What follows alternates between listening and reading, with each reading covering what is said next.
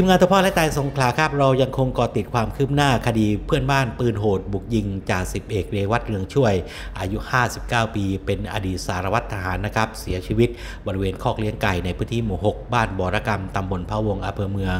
จังหวัดสงขลาเมื่อคืนนี้นะครับโดยถูกยิงด้วยวุธปืน 9 มม จากข้างหลังรวม 6 นัด กระสุนถูกบริเวณหัวไหล่คอและศีรษะ ล่าสุดเมื่อช่วงบ่ายของวันนี้นะครับนายประมุกจิตจันทร์อายุ 49 ปี หรือว่าดำเพื่อนบ้านที่ก่อเหตุได้ยอมเข้ามอบตัวกับตำรวจแล้วนะครับ พร้อมนำอาวุธปืน 9 มม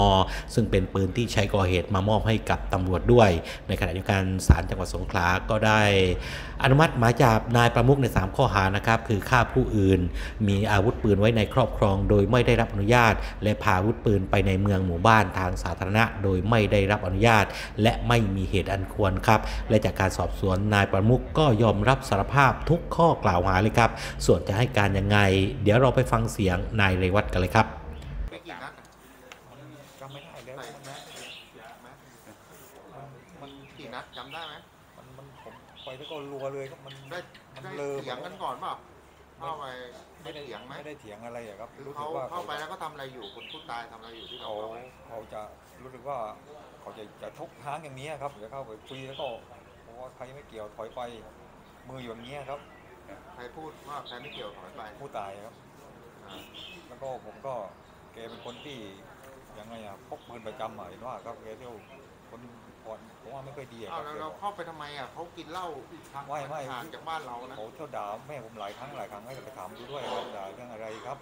ว่าจะพูดดีๆนะครับแต่เราพกปืนไปด้วยมันมันพกปืนไปกี่กระบอกตอนเข้าไปไม่ไม่ผมไม่เคยมีปืนเนี่ยกระบอกเนี้ยครับ เข้าไปแล้วแล้วเขาลุกขึ้น เขาบอกว่าไม่เกี่ยวถอยไปผมก็นึกแล้วก็ถอยเข้าแล้วทางพอนี้เขาไม่เกี่ยวถอยไปแล้วทำไงผมก็วิ่งถอยแล้วครับถอยก็ติดมันมันเป็นมันเป็นอะไรอะไรอะอ่าผมก็มีครับป้องกันตัวบ้างครับผมว่าตัวแน่ผมโดนยิงแน่เพราะเห็นว่าแล้วเขานั่งอยู่กี่คนตรงนั้นน่ะสามคนตอนนั้นครับสามคนแล้วเพื่อนเขามีวิ่งใครหมดบ้างเพื่อนเขาวิ่งหมดแล้วตอนนั้นที่ผมพูดเหลือเขาคนเดียวครับแล้วเราได้พูดอะไรเขาอีกว่าไม่ไม่ครับเป็นชักปืนยิงครับเลยผมก็ไปอย่างนั้นเลยครับแต่ยิงไปกี่นัดไม่รู้ว่าสองนัดอะไรเนี่ยมันมันมันหบอมกดไม่แม็กถูก ไหม ไม่รู้นี่ครับจังหมหดวะแม็กที่ไหมมันเรื่องที่ยิงอะยิงหมดแม็กไม่ไหมไม่ไม่ไม่ไม่ทราบเลยครับตอนนั้นมันมันมันอื้อหมดแล้วครับอื้อจริงๆเลยก็โอเคนะก็ให้การรับสารภาพนะถ้าไม่เป็นไรก็ว่าตามข้อเท็จจริงนะครับโอเค นั่นครับอะไรด้านพันตำรวจเอกธนวัฒน์เส้นสวยผู้กำกับการสืบสวนตำรวจภูธรจังหวัดสงขลานะครับ เปิดเผยว่าผู้ต้องหาให้การรับสารภาพว่าเป็นคนก่อเหตุจริงครับ ส่วนสาเหตุก็มาจากเรื่องปัญหาที่ไก่ของผู้ตาย ถูกหมาของผู้ต้องหากัดตายครับ และเรื่องที่หมาของผู้ต้องหา 4 ตัว ถูกวางยาตายไป 2 ตัวรอดมา 2 ตัวนะครับ ผู้ต้องหาก็เลยเชื่อว่าผู้ตายเป็นคนวางยา เพราะเคยได้ยินผู้ตายพูดเรื่องวางยาหมามาแล้วด้วยนะครับ เดี๋ยวเราไปฟังเสียงของผู้กำกับธนวัฒน์กันครับสรุปว่าหมาเรื่องราวที่เกิดขึ้นในคดีนี้นะครับก็เอ่อ ผู้ถูกจับเนี่ยผู้ต้องหาเขาก็ให้การรับสาภาพว่านะครับก็ได้ใช้อาวุธปืนเนี่ยยิงผู้ตายถึงแก่ความตายจริงนะครับถึงแก่ความตายจริง แล้วก็ส่วนประเด็นสาเหตุนะครับก็ให้การรับว่ามาจากมาจากเรื่องที่ว่าผู้ตายเนี่ยสงสัยว่าหมาของอผู้ก่อเหตุนะครับ ไปกัดไก่ชนของของผู้ตายนะครับไปกัดไก่ชนของผู้ตาย แล้วก็คือมีเรื่องอสง คือมีเรื่องอ่าบาดหมางไม่สบายใจกันนะครับ แล้วก็แล้วก็ต่อมาหมาของหมาของผู้ก่อเหตุนะครับซึ่งมีสี่ตัวนี่ถูกวางยาเบื่อเนี่ยตายไปสองตัว แล้วก็อีกสองตัวก็พาไปหาสัตวแพทย์ช่วยชีวิตไว้ทันนะครับช่วยชีวิตไว้ทันแล้วก็ ก็เลยความเชื่อของผู้ตายนี่ก็เชื่อว่าถ้าความเชื่อของผู้ก่อเหตุเชื่อว่าผู้ตายเป็นคนวางยานะครับ แล้วก็ประกอบกับที่เขาอยู่ที่บ้านแล้วได้ยินผู้ตายเนี่ยพูดพูดว่าวางยาอะไรประมาณเนี้ยครับเลยเขาก็รับว่าเขาเนี่ยจะเดินเข้าไปพูดคุยไปพูดคุยกับกับตัวผู้ตายเพื่อที่จะ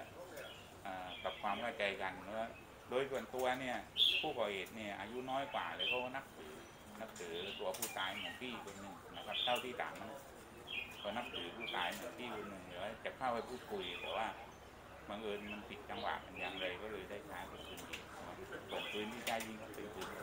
ครับกับเมื่อกี้เหมือนเขาบอกว่า คือในที่เกิดเหตุไม่มีนะครับไม่มีอาวุธปืนนะครับ ซึ่งตรงนี้ก็ก็มันเป็นคำกล่าวของผู้ถูกจับนะครับเขาจะพูดอย่างไรนะก็ต้องต้องไปดูกันที่พยานหลักฐานอีกทีนะครับ ส่วนบรรยากาศที่วัดคลองเปลอำเภอหาดใหญ่จังหวัดสงขลานะครับญาติของจ่าสิบเอกเรวัตได้จัดเตรียมสถานที่เพื่อรับศพของจ่าสิบเอกเรวัตมาทำพิธีรดน้ำศพในช่วงเย็นของวันนี้นะครับ ซึ่งบรรยากาศเต็มไปด้วยความเศร้า มีญาติพี่น้องและเพื่อนทหารมาเตรียมร่วมพิธีจำนวนมากครับ นางธัญญารัตน์เรืองช่วยอายุ 52 ปี ภรรยาของจ่าสิบเอกเรวัตครับบอกว่าสามีออกจากบ้าน ไปที่คอกไก่ชนในเวลา5โมงเย็นนะครับและบอกว่าจะรีบกลับมาพร้อมกับหอมหน้าผากตนก่อนออกจากบ้านที่ผ่านมาเคยเตือนและขอให้สามีเลิกเลี้ยงไก่ชนแล้วนะครับ เพราะไม่อยากให้ไปมีเรื่องสร้างศัตรูกับใคร และสามีก็รับว่าจะเลิกเลี้ยงไก่ โดยจะทยอยปล่อยไก่ออก และมอบให้กับเจ้าของบ้าน ซึ่ง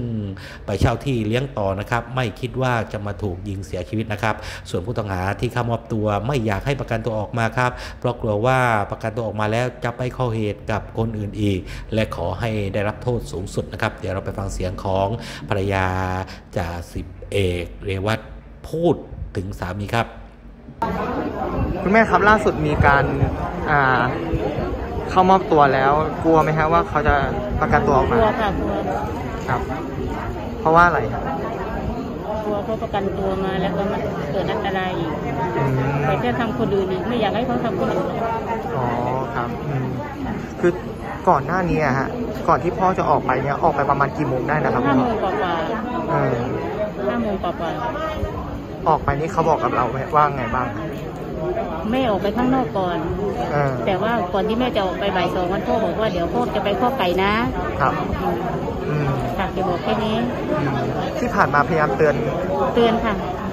บอกเขาว่ายังไงบ้าง เตือนว่าพ่อเลิกเลี้ยงได้ไหม ครับ แล้วพ่อไปสร้างศัตรูแบบนี้ไม่ได้นะ ไม่ชอบ ครับเตือนพ่อมาตลอดว่าขอร้องว่าพ่ออย่าเลี้ยงได้ไหมหลายหลายรอบแล้ว อืม เตือนจนเหนื่อยแล้วพ่อก็เงียบช่วงหลังๆพ่อจะเงียบ ไม่พูดอะไร ไม่พูดอะไร เสร็จเมื่อวานเดี๋ยวว่า เดี๋ยวพ่อจะทยอยไก่ออกอ๋อแล้วพ่อจะไม่เลี้ยงแล้วพ่อจะยกให้เจ้าของบ้านเลยพ่อพูดแบบนี้ สุดท้ายก็มาก่อเหตุก่อนค่ะเกิดเหตุก่อนค่ะ นอกจากนี้ทีมงานตะพอและแต่สงขลาครับ เรายังได้ลงพื้นที่ไปคุยกับนางศรีนีนาศรีชัย ซึ่งเป็นเจ้าของบ้านและเจ้าของที่ ซึ่งจ่าสิบเอกเรวัตมาเช่าที่เลี้ยงไก่ชนอยู่นะครับและอยู่ในเหตุการณ์ตอนเกิดเหตุด้วย เธอบอกว่าตอนนั้นถ้าออกไปนั่งอยู่กับจ่าสิบเอกเรวัตเธอก็อาจจะถูกยิงตายด้วยนะครับ เพราะว่านายประมุขเข้าใจว่าตนมีส่วนรู้เห็นกับการวางยาเบื่อสุนัขด้วย เดี๋ยวเราไปฟังเสียงของนางศรีนีนาถกันครับ ว่าเขาเปลือกกับซื้ที่การมันคือครับผมมันซื้อในการเป็นแม่กับบอกว่ามีการยิ่งกันได้ปะนี่ใช่ไหมคะครับ อ่า ได้ยินเสียงทะเลาะกันมา ไม่มีการทะเลาะมันถึงยิงเลย อืมแล้วตอนที่ก่อนหนานั้นก็นั่งกินกันกี่คนนะครับ นางกินมีคนเลี้ยงไก่ก็อยู่คนหนึ่งพอครับคนหนึ่งครับซึ่งว่าตัวปีก็คือเดินไปเดินมาอืมไม่ได้หนังคือเดินคืเพอราะว่าตรงนั้นมันเป็นตรงหล่างบ้านพอดีในครับ ครัว ครับ ในครัว ครับไม่มีการทะเลาะได้ทั้งสิ้นอืมมันถึงโจยิงเลย ไม่มีการไอ้ว่าได้โตตอบไรเลยถึงกับพอยิงแต่ถึงเขาแบบ ยิงออกมาทางทางนาเขาจะทางทางหลังกว่าบ้านมันอยู่ติดกันนี่ครับครับ เราวิ่งออกมาทางทางนาครับ เสร็จแล้วก็วิ่งมาทางทางนาถึงแรงว่ามึงย่างอีกคนหนึ่งนะ อืมบอกปีใช่ไหมค่ะ อืม ถึงกับทรงทรงปืนเข้ามา แต่เราตอนที่นั้นนะก็คืออยู่ในบ้านครับ ไม่ได้นั่งเท่าถ้านั่งอยู่กลางนั้นก็คือน่าจะตายกับครูไปด้วยขึ้นแล้วอืมเดี๋ยวเขาหลบหลบกันเรื่องอะไรครับ ไม่มีเรื่องไรเลยค่ะคืนวันเสาร์วันม้าเขาทุกว่างยาครับ เขาหาว่าพีแหละคนเจ้าของขอกไก่นี่แหละว่างถึงเราก็ให้เหตุผลเขาดีครับๆเพราะว่าดัมเมอร์เราไม่รู้เรื่องไรสักทีหนึ่งนี้ โดยปัญญาผู้หญิงอย่างเรานี้ตัวคนเดียวนี้ที่ อยู่กับลูกสองคนนี้จะไปทำหรือครับยาว่างก็ไม่เคยเห็นพี่เราว่างกับอะไรก็ไม่รู้แต่ด้วยความที่เขาเขาเขาขึ้นนั้นครับเขาไม่ฟังเหตุผลหรอกเพราะเช้าวันเสาร์เราเพิ่งยกขึ้นแต่นอนเก่งอยู่ม้าเขาตายเขาก็มาลาวอืมเอามึงนั่นแหละมึงนั่นแหละว่างยากูลาวนะพนมพระเนวดำอย่าใช้อารมณ์แต่เอาเหตุผลมาคุยกันบวกก็ไม่รู้เรื่องก็ไม่รู้เรื่อง แต่เขาก็ไม่ฟังหรอก อืม ทั้งหมดนี้ก็เป็นบทสรุปของคดีนี้นะครับ ต้องขอแสดงความเสียใจกับครอบครัวผู้เสียชีวิต ส่วนผู้ก่อเหตุก็ต้องรับโทษสูงสุดตามกฎหมายครับ